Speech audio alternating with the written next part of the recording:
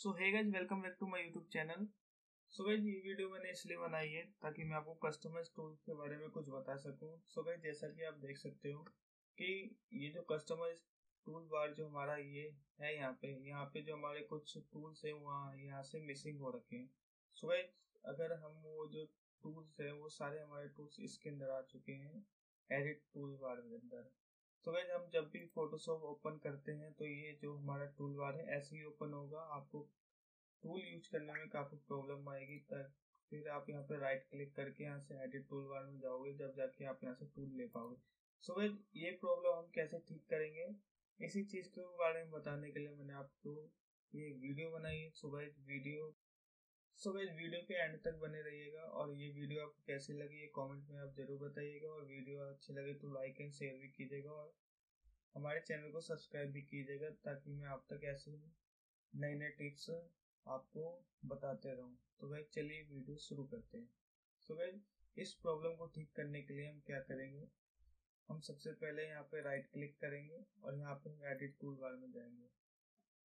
जिसमें एक tool bar है और इसमें एक एक्स्ट्रा टूल्स है। सो so, हमारा जो टूल बार था वो हमारा ये जो सामने है यहीं पे आ रहा होता है। तो जो हमारा जो एक्स्ट्रा टूल होता है वो सारा यहाँ एडिट टूल बार में चला जाता है। ठीक है? तो अब हम क्या करेंगे? जितना भी हमारा ये जो टूल बार का एक्स्ट्रा टूल में चला गया उसको हम दोबारा से टूल बार में लेकर आएँगे। उसको लाने के लिए हम क्या करेंगे? हम यहाँ पे सिंपल रीस या तो हम सबसे पहले मैं ये बता दूँ, अगर आपको यहाँ पे ज़्यादा टूल लग रहे हैं तो आप खुद भी हाइड कर सकते हैं। जैसे कि आप मान के चलिए आपको पेंसिल टूल यहाँ पे नहीं चाहिए तो आप यहाँ पे पेंसिल टूल हाइड करके रख सकते हैं, ताकि यहाँ पे ज़्यादा टूल ना दिखे। अगर आपको पेंसिल टूल यहाँ पे चाहिए तो आप क्या करेंगे सिंपली यहाँ से ट्रैक करके इसको ला के रख देंगे तो यहाँ पे आपका पेंसिल टूल आ जाएगा। और यहाँ से डन करेंगे तो आपको हो जाएगा लेकिन अगर आपको पूरा आपको टूलर पहले जैसा चाहिए तो आप क्या करेंगे? यहाँ से रिस्टोर डिफ़ॉल्ट करेंगे।